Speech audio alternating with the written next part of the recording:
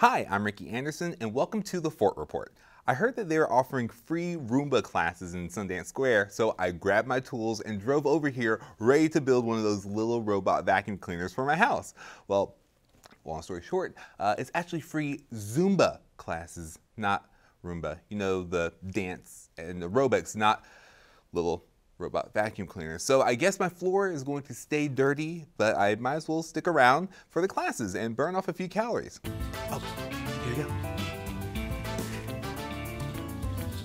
Free Zumba classes are in Sundance Square Plaza on select Saturdays at 9 a.m. Visit sundancesquare.com for more information.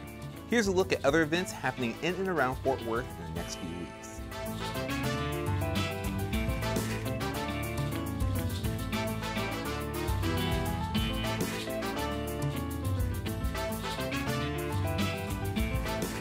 For a listing of more events and city meetings, you can always check the calendar at the city's website.